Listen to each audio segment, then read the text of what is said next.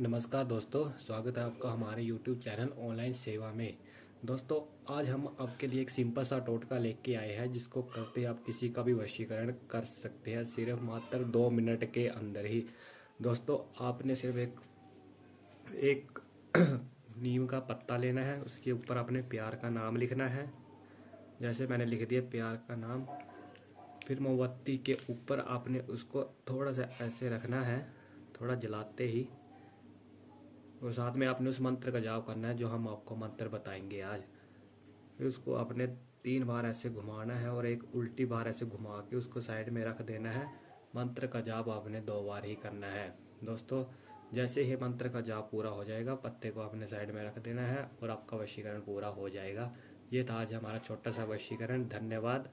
ऐसे ही जान, टोटकों की जानकारी चाहते तो हमारे नीचे दिए गए नंबर पर अभी संपर्क करें।